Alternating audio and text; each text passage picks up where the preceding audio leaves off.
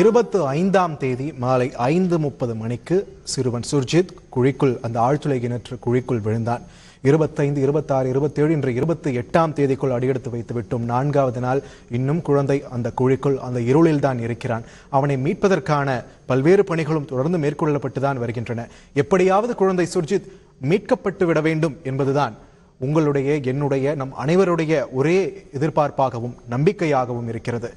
ஆனா இந்த நிலைமையில என்னன்னு பார்த்தோம்னா இந்த ஆழ்துளை கிணறுகள் இந்த விபத்துகள் ஏன் தொடர்ந்து நடைபெற்றுக் கொண்டே இருக்கின்றன?